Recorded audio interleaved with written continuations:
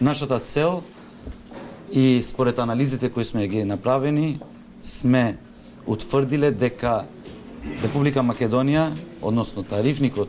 не бил изменет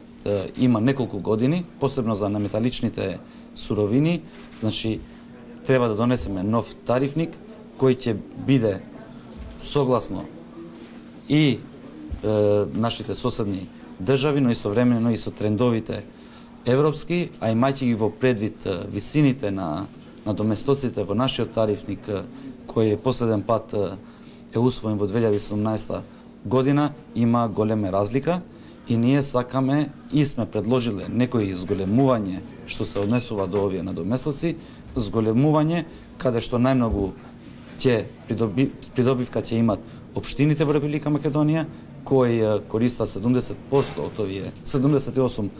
од овие надоместоци, но истовремено и буџетот на Република Македонија.